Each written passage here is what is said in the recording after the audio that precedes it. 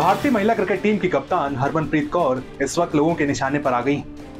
बांग्लादेश के खिलाफ आखिरी वनडे मैच में हरमनप्रीत ने जो व्यवहार किया, वो लोगों को पसंद नहीं आया। हरमनप्रीत कौर ने आउट होने के बाद अंपायर के फैसले से नाराज़गी दिखाई और उन्होंने अपने बल्ले को स्टंप्स पर दे मारा।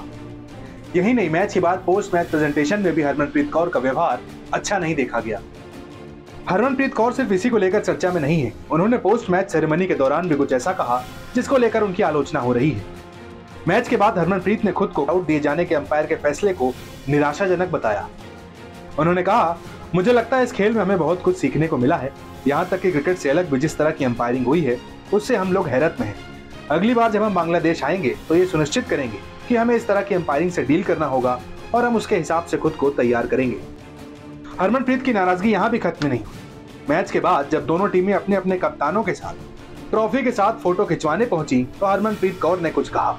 और इसके बाद बांग्लादेश की कप्तान निगार सुल्ताना अपनी पूरी टीम के साथ मंच से वॉकआउट कर वापस ड्रेसिंग रूम की ओर चली गई। अब मीडिया रिपोर्ट्स में ऐसा कहा जा रहा है कि हरमनप्रीत कौर ने निगार सुल्ताना के सामने कहा, अंपायरों ने आपके लिए मैच को टाई करवाया। उन्हें भी बुला लीजिए। हमें उनके साथ भी फ़ोटो खिंचवानी है। मेजबान बांग्लादेश की कप्तान निगार सुल्ताना ने कहा, हरमनप्रीत को एक खिलाड़ी होने के नाते बेहतर बर्ताव करना चाहिए था। हालाँकि अब तक इस व्यवहार के बाद भी हरमनप्रीत पर कोई कार्रवाई नहीं हुई। कुछ मीडिया रिपोर्ट्स में कहा जा रहा है कि उनके ऊपर कार्रवाई हो सकती है। हरमनप्रीत के ऊपर अंतर्राष्ट्रीय क्रिकेट काउंसिल यानी आईसीसी मैच फ़ीस का पचहत्तर फ़ीसदी जुर्माना लगा सकता है। हालाँकि अभी तक आईसीसी या बीसीसीआई की तरफ़ से कोई आधिकारिक बयान नहीं आया है। लेकिन सोशल मीडिया पर हरमनप्रीत कौर पर बैन लगाए जाने की मांग उठ रही है।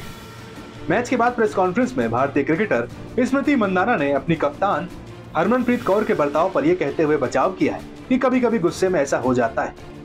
मंदना ने कहा है, मुझे लगता है मैच के बीच में जो हुआ, वो खेल का हिस्सा है।